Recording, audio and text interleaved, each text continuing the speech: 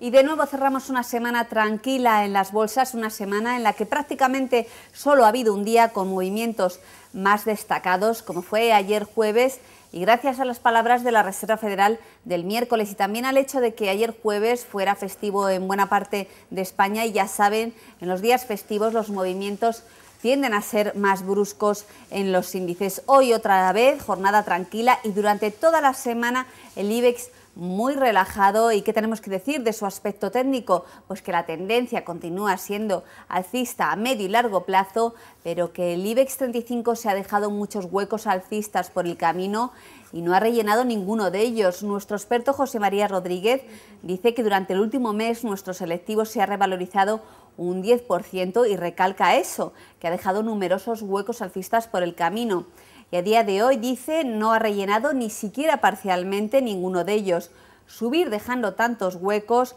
no es malo en el sentido de que denota fortaleza, señala, pero lo normal, lo sano, añade, sería que al menos alguno de ellos se rellenara o se cerrara. Y en cuanto a las novedades de la jornada, lo más destacado ha sido ese Consejo de Ministros con la reforma fiscal. Tras el Consejo de Ministros ha habido rueda de prensa y Montoro ha explicado los detalles. Una rebaja del IRPF de media del 12,5%, aunque para el 72% de los contribuyentes con una renta inferior a 24.000 euros, esa rebaja alcanzará el 23,5%.